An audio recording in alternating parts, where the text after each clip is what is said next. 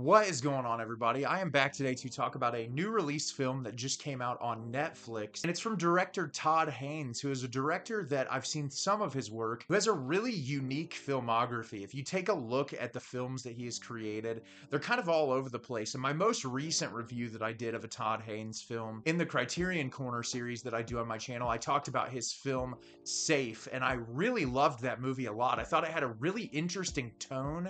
It was very dreamlike and ethereal ethereal and the way that it's shot. The subject matter of the film was really interesting and very thought provoking. And the film stuck with me for a really long time after I watched it. I was really impressed with the filmmaking. And so, going into this film, knowing a little bit about him as a filmmaker, I didn't watch a trailer for this before I watched the movie. I kind of just went in blind. I'm very excited to tell you about this movie today, and the film I'm going to be discussing is May December. May December is directed by Todd Haynes. 20 years after their notorious tabloid romance gripped the nation, a married couple buckles under the pressure when an actress arrives to do research for a film about their past. So, very excited to check this movie out because I've enjoyed Todd Haynes' work in the past, and I really like Julianne Moore and Natalie Portman. They're both incredibly talented actresses, and I thought this film was excellent. It really took me by surprise, and really what hooked me to this film was its very unique tone. People might say that I'm crazy for this, but there's elements of this that reminded me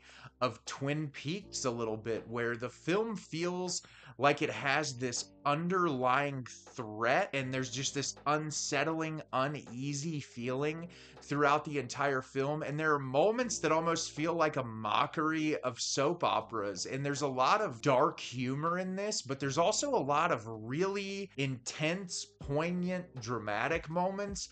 And I talk about balancing tonality in my reviews a lot. And Todd Haynes clearly took on a lot with this movie because the dark humor, it's often delivered in a way that feels like the actor is delivering something very seriously, but it comes across as comedic. And I think with a film that the subject matter of this movie is relatively heavy, I think having that comedic levity in moments makes the movie work so well, and I'm excited to discuss it at length with you today. So, at the beginning of the film, we're introduced to Elizabeth, played by Natalie Portman, who is an actress that is researching a new role, and she's going to visit this family where husband and wife couple Gracie, played by Julianne Moore, and Joe, played by Charles Melton, live with their kids in this pretty luxurious home. She is a baker that works from home, does these large orders for people in the community, and Joe worked a hospital doing x-rays. And Elizabeth is going to research Gracie to play her for a film, and what we find out is Gracie and Joe are married, but the way that their relationship started is the two of them worked at a pet store. I think it was over 20 years ago. And Joe was 13 years old when their affair started. Gracie was married beforehand, and it was all in the tabloids, and she ended up going to jail for it. And the two of them, after getting out of jail, she was pregnant while she was in jail.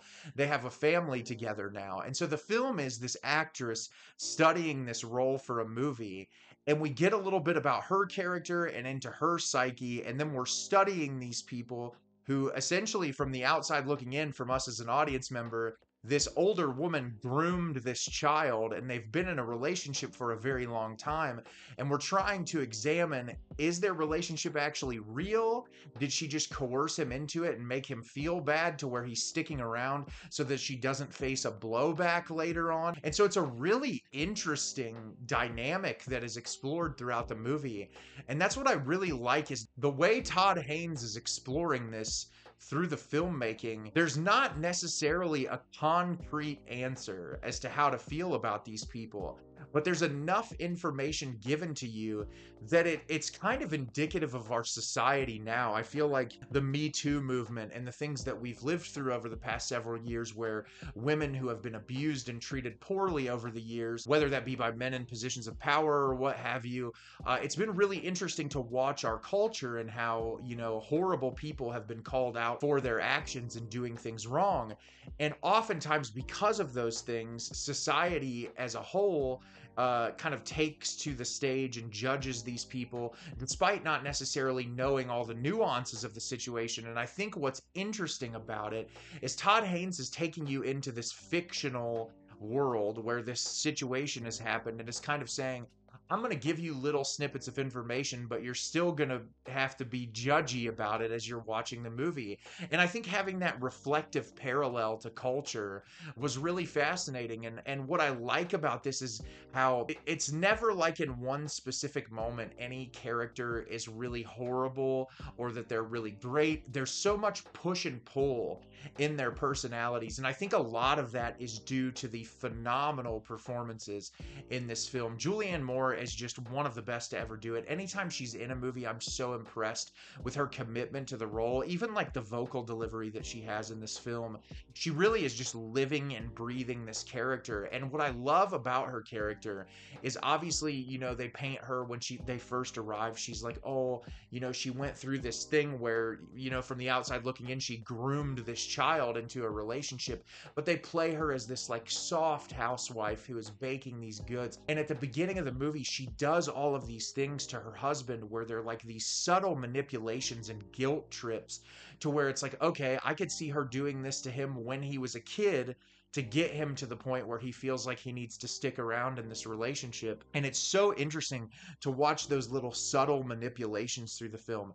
Natalie Portman's performance is fantastic because she comes in as this actress, and at the beginning of the film, you're trying to discern whether or not she cares about them as people. But realistically, throughout the film, it's kind of just like, I don't really care about these people.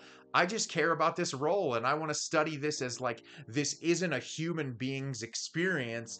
This is just a, a role that I'm studying for. And I think that detachment was really interesting to see a person who's just kind of like, yeah, I'll get close to these people and manipulate them in ways that work for my benefit, but I don't really see them as human beings. And I thought that portrayal of her character was really fascinating. The standout performance in this movie for me was Charles Melton, who plays Joe, because obviously he's going to have a, a, a wide array of emotions that he's going to have to convey. This was obviously he's an adult in this film, but he was, you know, taken advantage of as a young child uh, from what we learn early in the film and, and kind of coerced into this relationship.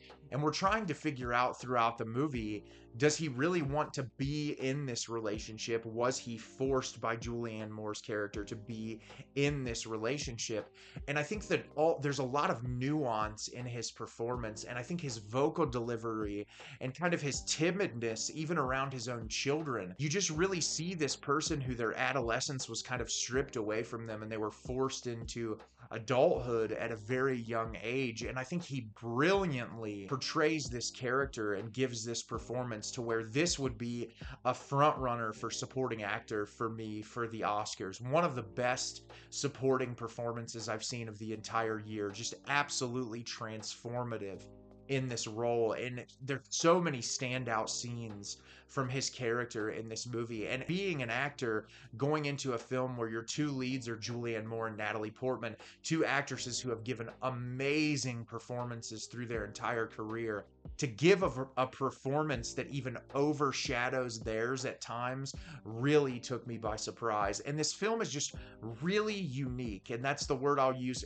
Unique is what I'll use for it because that tone like I said there, there's really heavy dramatic moments but there's also really comedic elements that are very dark in their delivery. And I really love the overblown kind of like soap opera score that accompanies the moments. I think especially in some of the more humorous moments, that accompanied score really elevates that feeling, which is what brings me back to Twin Peaks. Because when David Lynch and Mark Frost talk about the creation of Twin Peaks, a lot of that show was a spoof on soap operas and, and kind of making fun of daytime soap operas.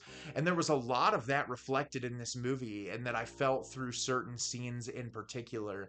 And this movie just really took me by surprise. I feel like it's a film that I'm going to grow to appreciate more every time I watch it. And it's streaming on Netflix right now. If you haven't got the chance to check it out yet, I would 100% recommend it. It is one of the better films of the year. So have you seen May, December? Did you love it? Did you hate it? Leave me a comment down below. Let me know what you thought. I thought this movie was great. It's a performance driven drama with some dark comedy laden throughout that is really worth your time watching.